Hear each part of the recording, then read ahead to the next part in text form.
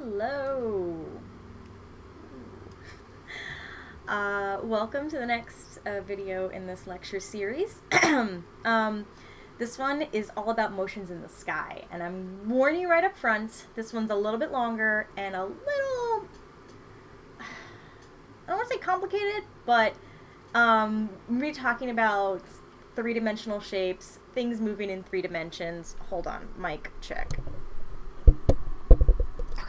Um, on a two-dimensional screen, which is not necessarily ideal. Um, so bear with me best as you can. Um, first topic here is going to be mapping the sky. Um, and one way we picture the sky as seen from Earth is to imagine a pretend sphere around the Earth that we call the celestial sphere. Um, this is obviously not a real construct, uh, but it is a really useful way of getting around the sky, thinking of where to point in the sky, what time things are up, where to look, stuff like that. Um, so the stars are all located on certain positions on this sphere, and the ecliptic, this red line, is the path that the sun takes across that sphere over the course of the year. So if you're on Earth, um, we have some some terminology. Um, the point right overhead for you is zenith, um, and that is determined by where you are, are on Earth, as is the horizon, which is 90 degrees away, that cuts off what you can't see. Um, and your location on Earth also determines where the uh, celestial pole is in your sky. Um, either the North Celestial Pole in the northern hemisphere or the south in the southern hemisphere. Uh, and 90 degrees away from that is the uh, celestial equator. So we're kind of mapping, so equator, you think, okay, kind of like mapping the Earth's equator up onto the celestial sphere. Hmm. Um, see, a couple of other terms to know. Uh, if you are looking at, if you're the observer in the center of this sphere, you have the zenith overhead, the horizon around you. Um, this line that goes from north to south through the zenith is called the meridian. Um, if you're looking at the location of a particular object, such as a star, how high it is above the horizon is its altitude, how many degrees from north it is going I guess, east, um, is your azimuth angle. Oh, so here's the meridian. Sorry. Uh-huh. Altitude um, and azimuth. Uh, so the coordinates, like they are on Earth, are mapped onto the celestial sphere. Um, only they're not called latitude and longitude. Uh, they're called right ascension and declination. I'm not going to worry too much about that, um, but just imagine that celestial sphere has a grid on it very similarly. So uh, another way of looking at this um, is to pretend you are, well, I guess you are standing on the earth. Pretend you're gigantic standing on the earth. Um, what's over your head is the zenith, and 90 degrees away is the horizon that limits what you can see. So in reality, you're not this giant thing. You're a teeny tiny speck on the Earth's surface, so the Earth is blocking your view of the rest of that sphere of the sky. Now that depends where you are on Earth. So that's going to change based on your latitude. So how far north or south you are. It's not going to change with your longitude as you go east-west around. That just changes, well, what time it is um, where you are in that location. Uh, when we're outside, we use uh, sky maps. Um, so this is an example of a sky map um, from skymaps.com. I always use these in my outdoor labs. Uh, and you use it by um, whatever direction you're facing. So if I was holding it like the way you see on the screen, I'd be facing south. South is at the bottom.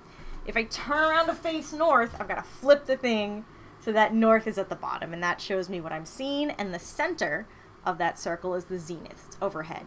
So it's a two-dimensional projection of a, you know, half sphere that you're imagining around your head. So some highlights to summarize, things that are useful out of this. Um, the sky above you could be modeled as the inside of a dome, the inside of the celestial sphere. the horizon determines what parts of the celestial sphere you can see at any given time. The location of, this is very north hemisphere centric, the North Pole star depends on your latitude. Um, if you're in the southern hemisphere, then the location of the south celestial pole that you see depends on your latitude. And the star charts are really helpful for letting you determine the positions of objects in the sky at a specific location, and one thing I forgot to note, a specific time. So this is, oh gosh, this is from my first semester teaching this course. Uh, and uh, this was, for example, early September 9 p.m. in 2015. Okay, so that gets our uh, that gets our positions around the sky. Next, we're going to talk about how things move over the course of a day. So the stars, as you may know, rise and set. Earth rotates west to east, so stars appear to circle from east to west. If you uh, set a long exposure on a camera, meaning that you, you know, have a photo but that it's recording for a long period of time on the Earth, uh, you can actually see that motion on the picture. So, for example, here is uh, a picture of part of the night sky. Uh, the stars rise in the east and set in the west and make these trails throughout the sky throughout the night. Uh, they're not straight up and down, uh, as you notice. In fact, if you take a picture of the celestial pole, for example, so this uh, is an example of the north celestial pole, um, and you let that run for a couple hours, what you'll see is that the, the star at the north celestial pole doesn't move. All the other stars go around it.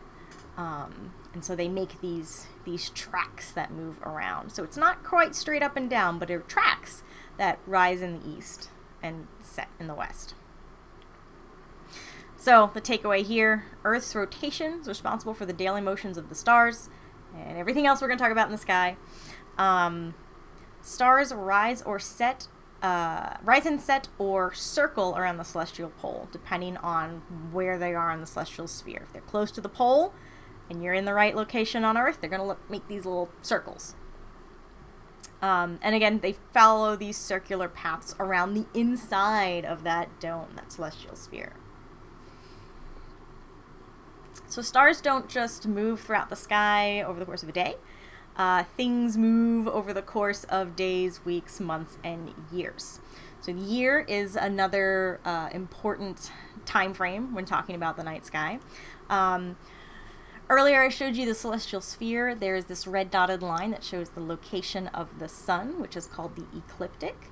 Um, this is plotting the position of the sun against the stars for every point in the year.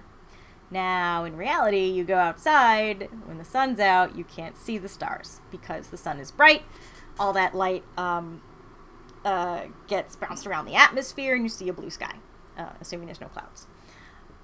So, in this model, you have to imagine well, if the sun wasn't bright, if I could see the stars at the same time I saw the sun, this is what constellation or what stars I would see the sun in in the background. Um, you can actually see this during a total solar eclipse. There's a, a um, brief, you know, couple minutes, depending where you are, of, of darkness, and you can see the brightest stars. It's pretty amazing. Um, if you set out a camera and took a picture of the location of the sun at the same time every day, depending on where you are on Earth, you would get a picture sort of like this. The sun isn't always going to stay in the same place every day um, at the same time. Sometimes it's going to be higher, sometimes it's going to be lower, and it makes this funky shape here.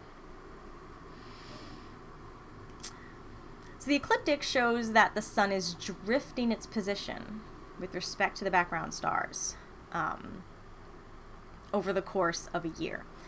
And that's because there's a slight little difference between what we call a solar day and a sidereal day.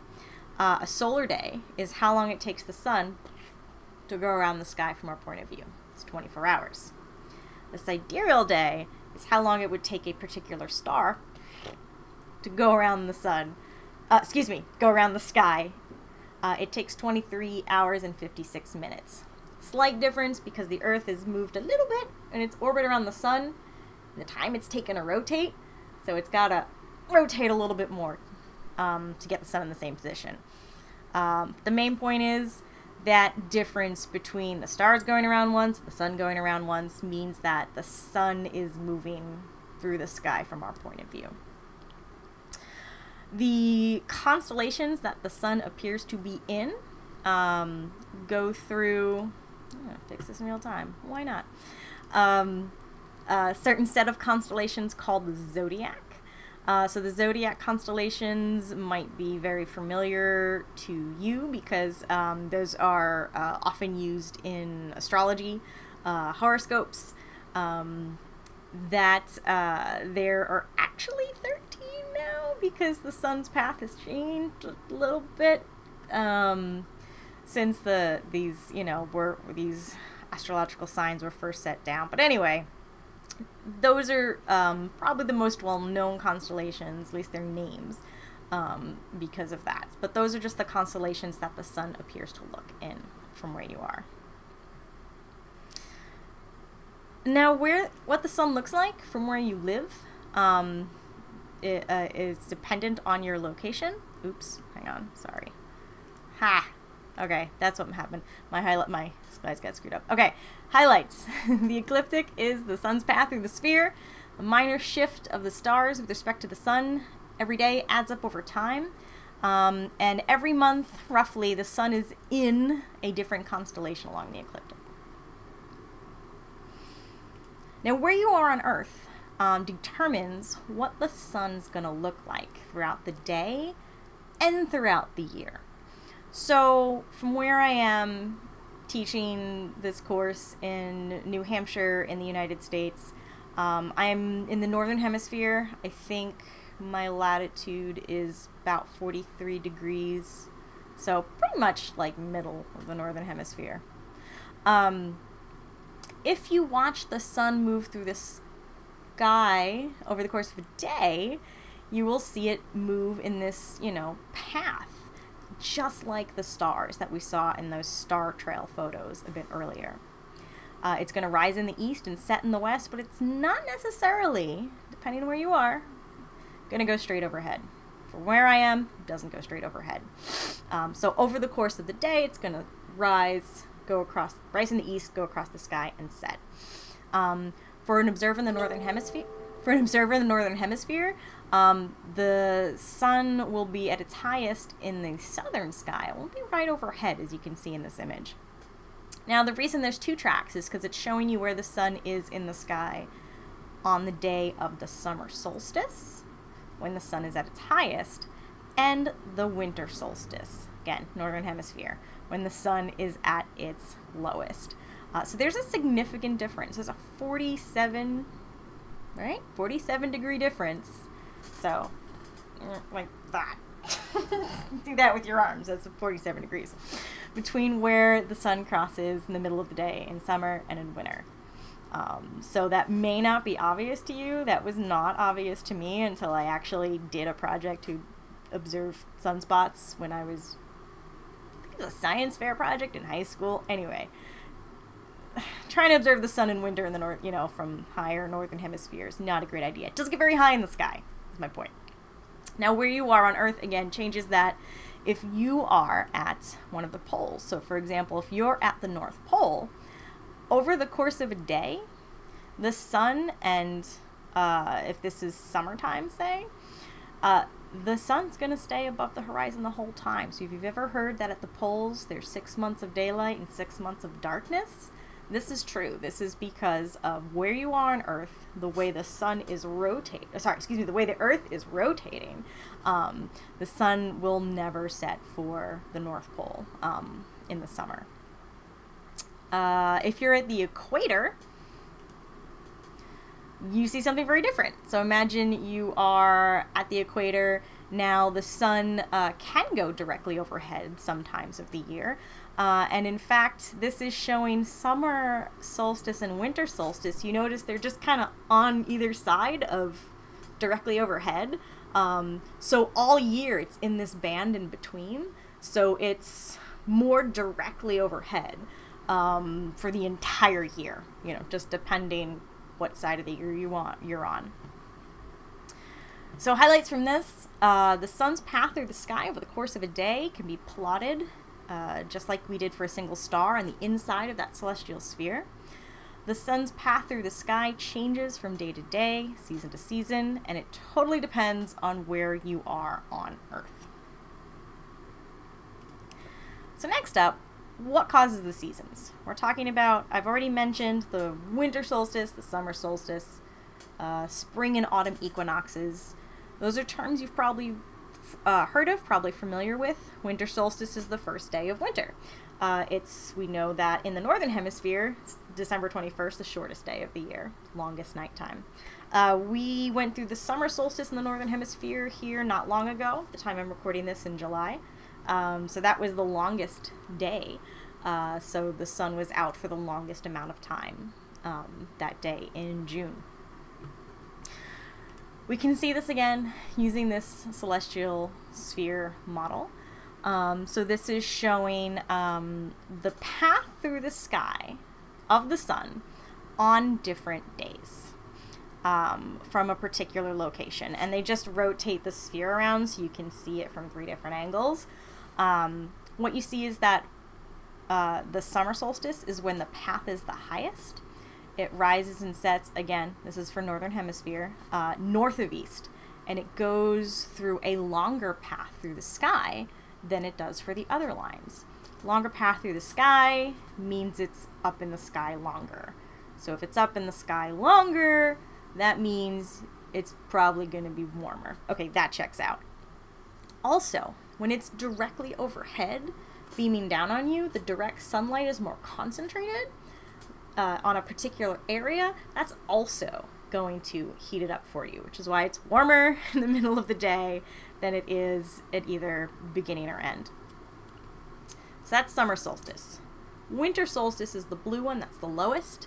Now you have the sun going through a shorter path in the sky, so it's up in the sky for less time, as we all well know from winters here in New Hampshire.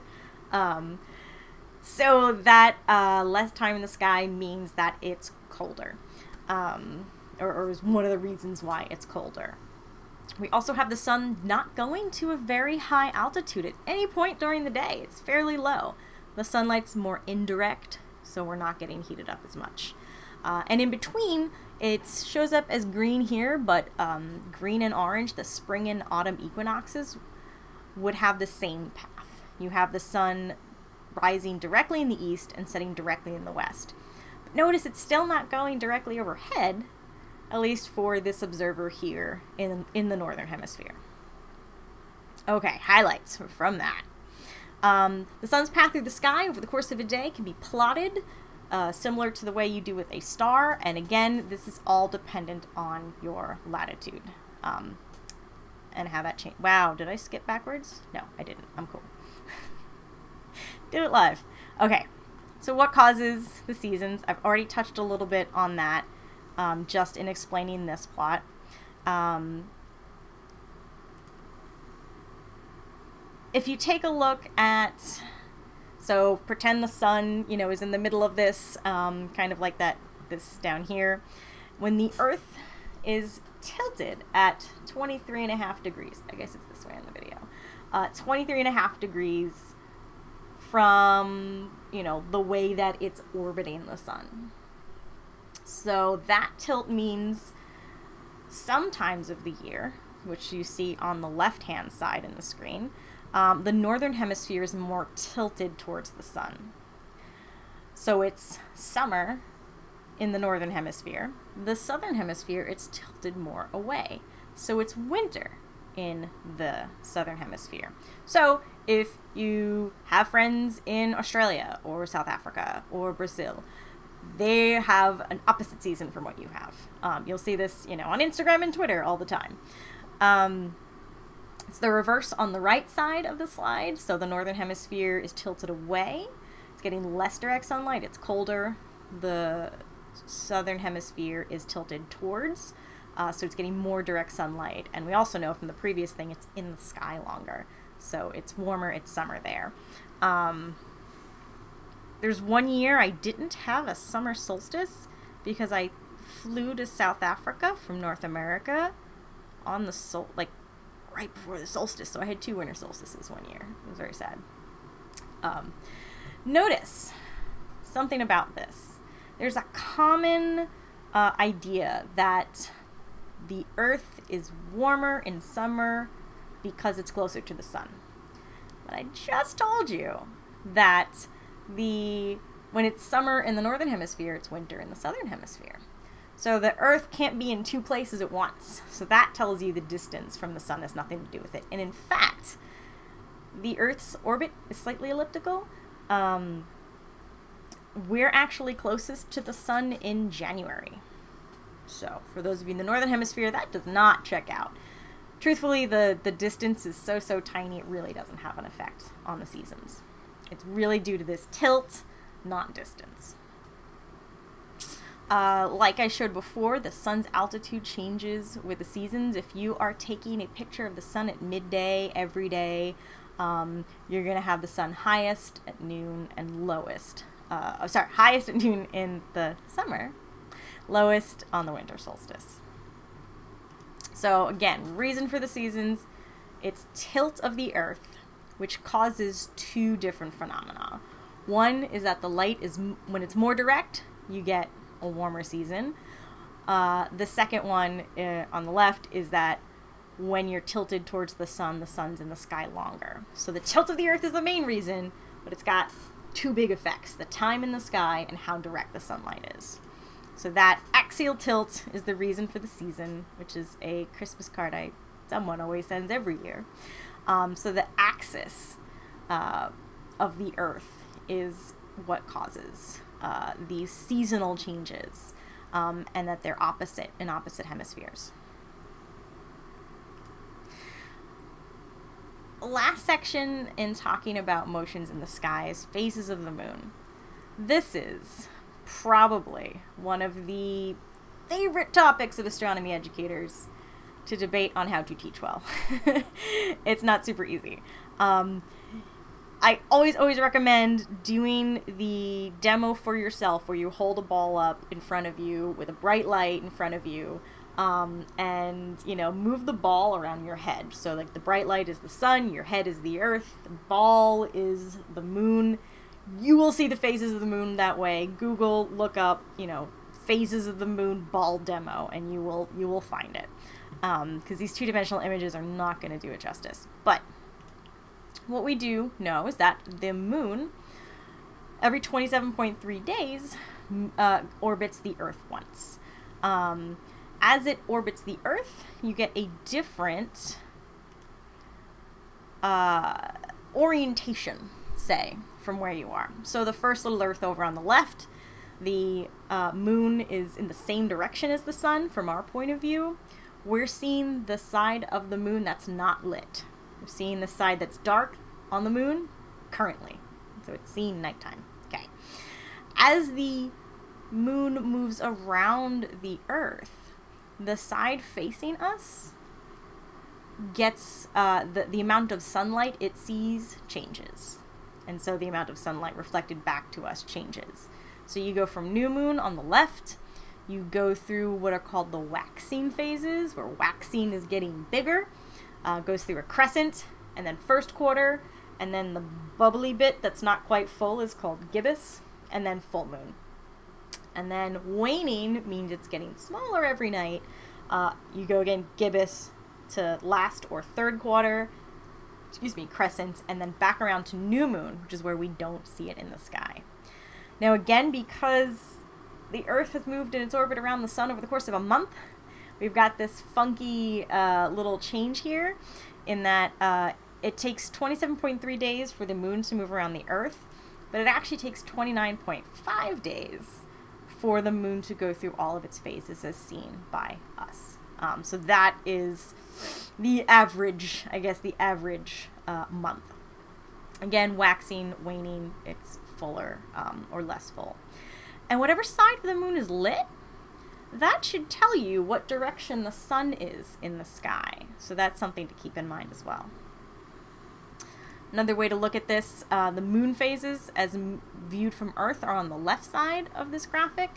The moon's orbit around the Earth is on the right side. So you've got to match up one to one. Day zero, day three, day seven. Um, notice that half the moon is always lit, the other half of the moon's always dark, right? Um, and because of the way the moon always faces the same side to us, um, the same, the side that's lit is not always the same side. That's a little weird. Um, basically, there's no dark side of the moon. there's no permanent dark side of the moon. There's a near side that faces Earth and a far side that doesn't face Earth. But a day for, say, someone living on the moon would be um, would be a month, right? So it would actually from the time the sun is overhead to time it's uh, all the way around, that would be that 29.5 days. Here's another uh, graphic showing that. Now this is also indicating what time it is at each spot on Earth. Um, due to the fact the sun's over here, right? So, oh, sorry, eh, you can't see. Sun's on the right. Um, so the part of the Earth that's pointing at the sun is noon, roughly, right? Um, ignoring daylight savings and all that jazz. Uh, the side on the other side is midnight. Now, all these little moons and these times tell you that there's a relationship between what time it is, where you are, and what phase the moon is in. Uh, so you can impress your friends once you figure this system out. And, uh, you know, if they ask you what time it is, instead of looking at your wrist, you can look at the moon and be like, it's, it's like 9 p.m. Um, and you might get fairly close. Um, it's a complicated system. I would recommend that you go to one of like the many astronomy simulations to play with that. Um, or you can take this graphic and look at this graphic and say, okay, I'm pretending I'm at the noon spot. Um, and every day at noon, I'm going to see where the moon is compared to me. Um, when it's at, so for example, when it's in the new phase, all the way on the right, um, means I can't see the moon. If I could see the moon, it would be overhead at noon with the sun. Cool. Uh, it would rise at sunrise and set at sunset. That makes sense. Now let's go to the other side, the left side to the full moon. Uh, it's on the opposite side of the Earth as the sun, which means on that left side it's midnight. The moon is overhead at midnight, or at its highest at midnight, when it's full. It's going to rise at sunset and set at sunrise. So it's opposite the sun in the sky. So those are the two easiest to figure out. Um, the others, I always mess them up, so I always have to think about that. But if you're at 6 p.m., say that's roughly sunset. Um, as it's roughly sunset, the it's 6 p.m. It's roughly sunset. The first quarter moon, it's above the 6 p.m., so it's highest in the sky. Um, so you can trace all of these all of these phases and figure out what time they're overhead, what time they rise, what time they set. Okay, brief overview of that. The phases of the moon as observed from the Earth are determined by the relative positions of the Sun, Earth, and Moon. Notice there were no shadows involved at all. Um, the moon phases indicate how much of the moon's illuminated surface is visible from the Earth. So half the moon's always lit, it just depends, uh, the phase is dependent on how much of that lit side we see. So, all right, thank you so much. That's it for Motions in the Sky, and I will see you soon.